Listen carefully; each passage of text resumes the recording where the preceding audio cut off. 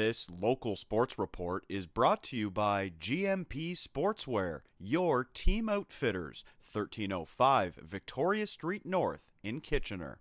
The Kitchener Waterloo Titans on their home court on Tuesday night, taking on their rivals, the London Lightning. Second quarter, Ed Horton dishing to Kyle Arsenault, and from downtown, that's a three ball. Arsenault giving the Titans a seven point lead. Next possession, watch number 21. That's Dominic Phillips, and he banks it down. That's a long deuce for Phillips. Back the other way. This is Garrett Williamson running the floor. He gets the basket plus the foul. London closing the gap. They are down by one. Then it's Ryan Anderson for the Lightning from beyond the arc. That's a three ball. The two teams trading the lead several times in the second quarter. Here is Ed Horton for KW, and he drills a three pointer. Horton finished with 22 points in the game, and the Titans getting it done from long distance. Tramar Sutherland with a triple. He also had a big night with 20 points.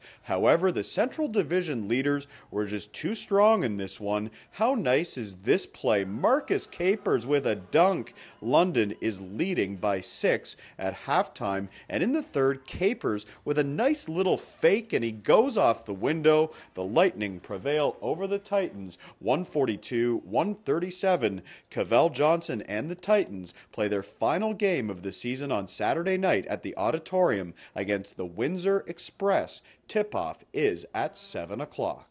For more highlights, visit our website, 519sportsonline.ca. Be sure to subscribe to our YouTube channel and follow us on Facebook, Instagram, and Twitter.